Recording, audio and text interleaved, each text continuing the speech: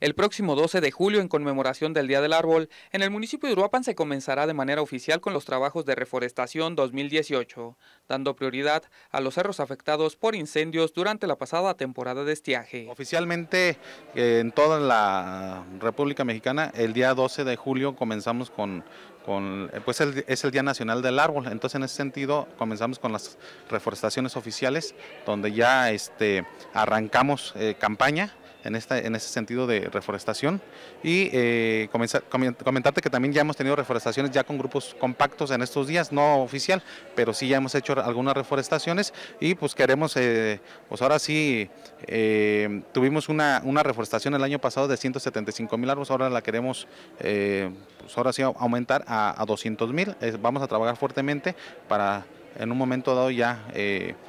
cumplir esa meta que nos estamos poniendo en este, en este año 2018. Vamos a hacer invitaciones a las escuelas, a las empresas, a las asociaciones civiles, a las organizaciones sociales, eh, a todos los ciudadanos europeos que quieran participar en plantar un árbol, esto con el, con el fin de, pues esto nos ayuda en un mejor medio ambiente, eh, nuestro clima, nuestros mantos acuíferos del río Cupaticio y en ese sentido pues van a hacer reforestaciones en diferentes cerros, este es el sentido se va a hacer las invitaciones correspondientes, igualmente